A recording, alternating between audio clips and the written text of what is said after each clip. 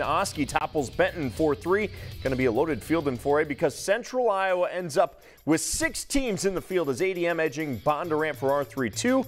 Tonight with Winterset, Husking, or the Huskies punched a ticket back to state with a 10-0 win over Harlan as well, and they are the 4A defending champs.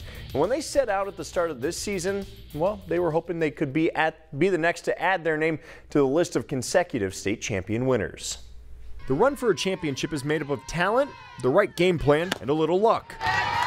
We got hot at the end of the season and had a run to the state tournament and won a state title. That was last year when the Winterset Huskies were the underdog. We snuck up on people. This summer, that hasn't been the case for 4A's top ranked team. We've had a target on our back like all year. Forcing the Huskies to be at their best every night. You can't just go out and think you're going to win.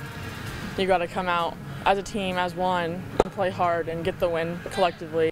A mature take for a team that lacks seniority, dating back even to last year's title team. We only had one senior, and like we can do it again, but even with three. That's right, just three seniors on this year's roster, so the junior class has been leaned on heavily, starting in the circle with Thea Banning. What she's really good at is relying on her defense. I don't have to worry about striking them all out. I can put it on the plate a little bit and let them let my defense work and give them a little chance too. Banning has owned the circle for Winterset this season, pitching 35 of their 40 games. At the beginning of the year, you could tell I was had to get in shape for that first week was a little hard, but then after that, I was going. She pitched the Huskies to their title in 2020, and she'd love an encore performance. It'd be great. It'd just make it 10 times more fun, and even to go out and do it all again would be just so much fun.